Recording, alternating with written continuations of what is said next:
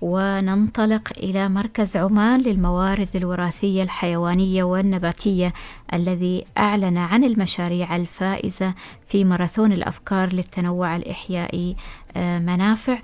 وحقيقة هناك يعني إشادة في مواقع التواصل الاجتماعي وفي تويتر بالتحديد بهذه الفعالية بفعالية منافع وبالمشاريع التي آه، شاركت آه، فيها. وفي هذه الدقائق معنا الأستاذ عبد الله بن هلال البلوشي موجه مشاريع بالفعالية وأخصائي البيانات الوراثية بمركز عمان للموارد الوراثية الحيوانية والنباتية التابع لمجلس البحث العلمي. أستاذ عبد الله صباح الخير وأهلا وسهلا بك معنا. صباح النور آه، بك أختي العزيزة وبالمستمعين الكرام. الله يسلمك. آه، منافع هذه النسخة الثانية من هذه آه، الفعالية. وهناك فعلا توجيه للاهتمام ببعض النباتات في بيئتنا المحلية وأيضا لكيفية استغلالها لإنتاج يعني علاجات أو مواد صديقة للبيئة. فنتحدث عن منافع في نسخته آه، الثانية كيف سارت هذه آه، النسخة آه، ثم بعد ذلك عن المشاريع التي فازت نعم في البداية نشكركم على الاستضافة طبعا مثل ما تفضلتي وذكرتي أن هذه النسخة الثانية من البرنامج هذه النسخة كانت أكثر تطورا من النسخة الماضية. طبعا هدف برنامج منافع هو أن تمكين الأفكار الابتكارية التجارية المعتمدة على التنوع الاحيائي كمورد خام لها، لما نقول تنوع الاحيائي نعم إحنا نشمل جميع الكائنات الموجودة على أرض السلطنة أو في البيئة نعم. من كائنات بحرية أو نباتات أو حتى كائنات دقيقة وأيضا الحيوانات الموجودة. كلها فيها منافع إن شاء الله في نهاية الأمر. نعم أكيد. آه آه، طبعا المنافع طبعا السلطنة في البداية يعني تزخر بالعديد من تنوع تنوع احيائي فريد يعني بسبب تنوع التضاريس الموجوده إحنا عندنا جبال عندنا بحار الحمد لله سواحل ممتدة على طول 3000 آه، كيلو متر مربع. آه، عندنا صحاري عندنا سهول فهناك تنوع كبير. وبالتالي هذا التنوع يجب أن يعني نستفيد منه. الاستفادة الحالية الموجودة منه فقط في يمكن يكون كغذاء للإنسان. بالفعل. وأيضا أيوة وأيضا كنوع من السياحة. آه، اللي يسموها السياحة البيولوجية آه، فالبرنامج المقصد منه أنه إحنا كيف نستفيد من هذه الكائنات المتوفرة على أرض السلطنة آه، بمنتجات ممكن أن تكون تجارية واقتصادية وطبعا بما لا يمس باستدامة هذا المورد الموجود على أرض السلطنة. فمنافع يوفر العديد من الفرص للشباب. آه، طبعا آه، منافع يوفر منصة آه، لعرض وصقل الأفكار وتحويلها إلى مقترح أو مقترح منتج. نعم. أيضا هو بيوفر يربط أصحاب هذه الأفكار مع حاضنات متخصصة لتطوير المنتج وإن شاء الله بعد أن يكون المنتج تم تطوير نموذج أول المنتج آه، البرنامج سيربط هؤلاء الشباب أو أصحاب الأفكار مع مستثمرين وأصحاب الأموال من أجل يعني تمويلهم وأن يكون يعني منتجهم في السوق. نعم يعني في جانب أيضا من ريادة الأعمال في آه، منافع. نعم أكيد هو هو في نهاية الأمر ريادة الأعمال يعني تشجيع الشباب على آه، الانخراط في الأعمال التجارية الموجودة على أرض السلطنة. نعم. آه، طيب ماذا عن المشاريع الفائزة هذا العام هناك أربعة آه، مشاريع آه، فنتعرف عليها من خلالك أستاذ عبد الله طبعا في البداية هو اللي تم تسجيل طبعا فتحنا التسجيل في مايو لهذه السنة وتم تسجيل حوالي 56 فريق. بواقع 170 شخص يعني بمعدل تقريبا ثلاثة أشخاص لكل فريق. آه، تم عملية الفرز الأول والفرز الثاني يعني وتم فرز آه، يعني المنتج النهائي كان 15 فريق. 15 فريق دخلوا في 48 آه، ساعة أو ماراثون 48 ساعة ما يسمى لمدة يومين آه هذا اليومين آه كان هنالك العديد من الموجهين سواء الأكاديميين أو آه أيضا من من من الجانب التسويقي والجانب الهوية ليعني آه، يعني تطوير هذه الأفكار وجعلها أكثر قابلية لأن تكون في السوق. بعد اليومين هذه طبعا كان عندنا لجنة تحكيم آه، للأفكار ويعني الصفوة كانت تعرف الأفكار تم الإعلان عنها أمس تاريخ 1 أكتوبر. وهذه الأفكار هي Neem Line اسم الفكرة كانت Neem Line. وهو إنتاج الزيت من بذور شجر النيم وهو تعرف عليه شجر الشريش. شريش بال... نعم. إيه، بالعماني هذا الزيت مهم جدا لأنه يدخل في صناعة دوائية وفي صناعة تجميل وإلى آخره نعم. أيضا عندنا الفكرة الثانية الميسم وهو عبارة عن سائل غسيل يعني ملابس من من الأشجار فهو غسيل ملابس طبيعي لا يوجد بها أي كيماويات ممكن أن تؤثر على بشرة الشخص نعم. العادي الفكرة الثالثة كان بلم دي إف وهي عبارة عن إنتاج ألواح خشبية MDF من مخلفات النخيل. وهذا أيضا فكرة رائدة وإن شاء الله نتمنى له التوفيق. نعم. أيضا الفكرة الرابعة الأخيرة كانت منه وهو تصنيع أكياس الشاي من نبات الخيار المر وهو نبات موجود على أرض السلطنة يتم يعني زراعته بكميات كبيرة لكن استغلال يكون من من الفرد العماني خاصة. الخيار المر غير عن الخيار اللي يعني يؤكل في السلطة؟ لا, لا غير غير. الخيار المر هو نوع من ال القرع. مم. نوع من نباتات القرع لكن اسم مسماه الخيار المر. خيار المر.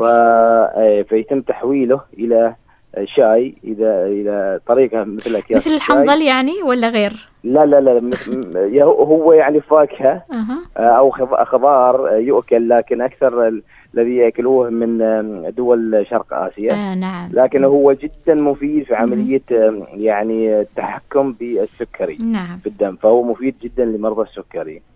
نعم. طبعا كل هذه الأفكار نتمنى لنا إن شاء الله التوفيق. إحنا بنتابعها خلال الأشهر القادمة. إحنا عندنا تعاون وشراكة مع جامعة السلطان؟ أه. اي نعم. الحاضنة العلمية في جامعة السلطان قابوس مركز الابتكار ونقل التكنولوجيا لتحويل هذه الأفكار إلى منتجات حقيقية. إن شاء الله إن إحنا خلال ست أشهر بنشهد إن المنتجات موجودة في السوق بإذن الله. يا رب طبعا هذا كله بجهود الجميع. مم. طبعا المركز هو يعني جهة واحدة في في السلطنه لكن إن شاء الله بتعاون الجهات المختلفة إحنا بنوصل هذه الشباب وهذه المنتجات إلى السوق بإذن الله. هذا المطلوب يعني منها ما تبقى أفكار تقدم لمسابقة وينتهي الأمر يعني إنها فعلا صحيح. تتحول منتجات إلى السوق. صحيح كما إحنا بلغنا طبعا الفائزين أمس إنه هذا مش هو النهاية، التكريم ما النهاية، التكريم بداية المشوار. آه يعني من اليوم بداية المشوار إنه هذه الأفكار يجب عليها إنها تكون في السوق. آه إن شاء الله بإذن الله إحنا يعني المركز آه بيجتهد مع مع الشركاء الموجودين سواء جامع في جامعة السلطان قابوس أو في المؤسسات الأخرى التي بتساهم إن شاء الله أن تكون هذه الأفكار أو المنتجات اللي بتستخلص من هذه الأفكار في السوق إن شاء الله. إن شاء الله. آه ماذا أيضا عن تدشين تطبيق تجميع وأهمية هذا التطبيق أيضا بالنسبة ل يعني التنوع الاحيائي في السلطنة؟ آه نعم. طبعا هذا التطبيق هو فكرة رائدة وابتكار من ال من ال من المركز نفسه. آه هدف التطبيق آه هو أن إشراك المجتمع المحلي الأفراد العاديين في المشاركة والمساهمة في عمل آه قواعد بيانات وطنية للتنوع الموجود على أرض السلطنة. يعني إحنا يعني خلال السنتين الماضيتين يعني عملنا كثير أن نتواصل مع الجهات المختلفة لجمع البيانات على أساس إنه إن شاء الله يكون عندنا قاعدة بيانات وطنية موثقة. لكن كما هو معلوم إنه البيانات دائما ما تكون مشتتة وغير مركزة. فواجهنا الكثير من الصعوبات الكثير من الصعوبات لعمل هذه القواعد البيانات. طبعا إحنا في في في يعني نتقدم فيها لكن التقدم يكون بطيء في العادة. فايضا فتحنا باب للمجتمع المجتمع المحلي واللي المهتمين وأيضا الناس الهواة أن يساهموا في قاعدة البيانات الوطنية من خلال هذا التطبيق. نعم.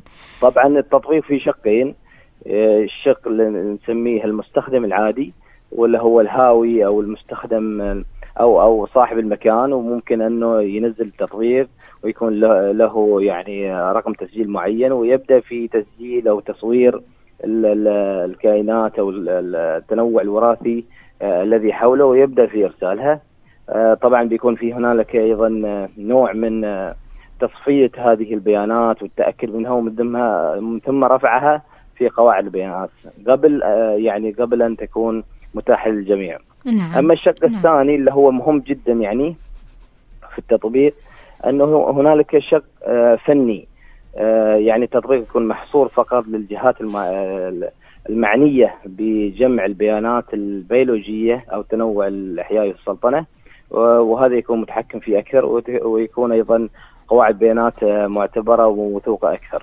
نعم. آه، إن شاء الله نتمنى يعني تطبيق هكذا يجد صدى آه، عند المستخدمين والمهتمين بالنباتات أو بالكائنات الحية الموجودة نعم. على أرض آه، السلطنة إيش خلفيات الشباب المشاركين في هذه المشروعات؟ يعني خلفياتهم العلمية أخوي عبد الله آه، طبعا إحنا البرنامج فتح للشباب العمانيين وأيضا المقيمين على أرض السلطنه ممتاز. آه الذين يعني أعمارهم أكبر من 18 سنة وبالتالي هو مفتوح للجميع.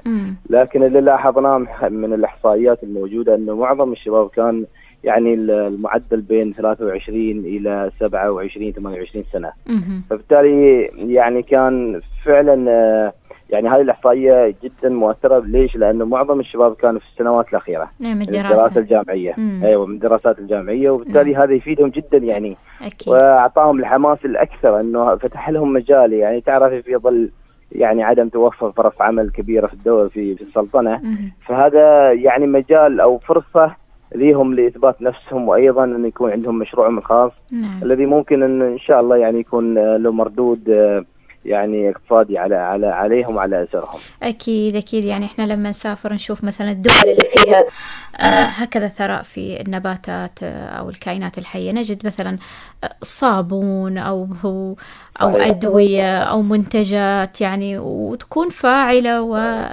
يعني غير الماركات العالمية والبراندات. يعني تكون مثل بيئة محلية شيء محلي يعني معروف بدولة معينة. فجميل مثل التفات مثل هذه الأفكار وغرس هذه الثقافة. عند نعم. الشباب. خاصة أكيد أغلبهم يعني يدرس علوم زراعية وعلوم آه، بحرية. يعني هو متخصص في النهاية شباب متخصص. نعم. نعم طبعا يعني نوه إنه معظم الفريق الفرق يعني كان من الأعداد المشاركة كان من ثلاثة إلى خمسة. في كل فريق. وأيضا الجميل يعني الجميل في في البرنامج إنه لم يتم تحديد تخصص معين. يعني إحنا في البرنامج لما طرحنا الفكرة ولما طرحنا التسجيل لم يتم اشتراط تخصص, تخصص. معين وهو أيوه وإنما هو مفتوح ليش مفتوح لأنه إحنا نريد نرغب آه، أن يكون هناك تنوع في الفريق نفسه نعم فيعني يكون في واحد متخصص في الجانب التكنولوجي مثلا آه، أو متخصص في الأحياء أو متخصص في التسويق أو مم. متخصص في الهوية مم. فيكون هناك تنوع يعطي قوة للمنتج أكيد. نفسه يعني في نهاية نعم. الأمر نعم إن شاء الله أتمنى كل التوفيق لكل شبابنا ونرى أيضا النسخة الثالثة من منافع وتكون إن شاء الله نسخة أكثر آه، تطورا وأكثر استيعابا للشباب. شكرا جزيلا لك الأستاذ عبد الله بن هلال البلوشي موجه مشاريع بفعالية منافع وأخصائي البيانات الوراثية بمركز عمان للموارد الوراثية الحيوانية والنباتية آه، التابع لمجلس البحث العلمي. شكرا جزيلا لك أستاذ عبد الله. شكرا لكم جزيلا ولا ننسى نشكر الداعمين للبرنامج شركة الأسماك العمانية وأيضا شركة الغاز المسال وأيضا جامعة سلطان القابوس ممثلة في مركز الابتكار ونقل التكنولوجيا وأيضا الدعم المصرفي ميثاق للصرف الإسلامية. نعم كل الشكر لهم جميعا. شكرا مرة أخرى لك وأخ عبد الله ويومك سعيد. يومكم سعيد. الله يسلمك.